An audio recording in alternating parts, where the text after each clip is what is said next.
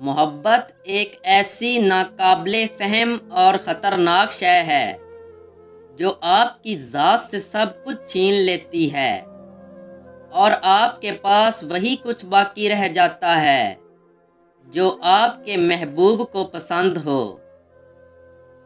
वक्त गुजारने के लिए मोहब्बत करने वाले लोग दर दर भटकते कुत्ते की तरह होते हैं।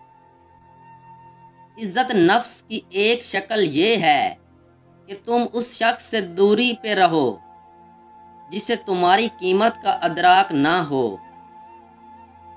हम उस माशरे में रहते हैं, जहाँ निकाह के वक्त शिया, सुन्नी, देवबंदी, वहाबी और जना के वक्त मुनासिब जगह देखी जाती है। मोहब्बत हमेशा कशिश ढूंढती है। और कशिश सिर्फ़ वजूद, जिसम में ही होती है। बाकी मोहब्बत को देखने और समझने का हर किसी का अपना नज़रिया है। रूह से मोहब्बत या तो नफसियाती मरीज़ कर सकता है, या फिर झूठा जो मर्द मुश्किल वक्त में औरत का साथ दे तो औरत उसकी आशिक हो जाती है।